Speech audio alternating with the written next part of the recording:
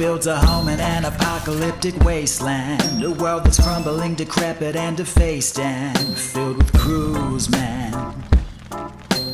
YouManz. It's a style of living not many can handle. Fighting for your turf against the zombies, thugs, and vandals. Fighting for your cruise lands.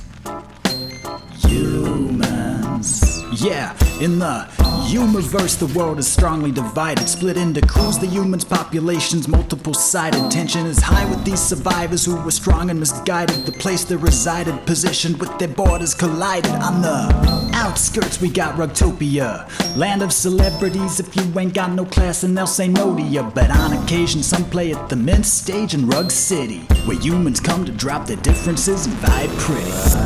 No others like the humans, they say.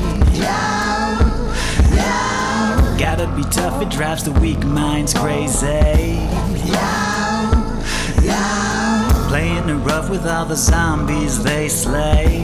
Yeah, yeah. Ain't no others like the humans, baby.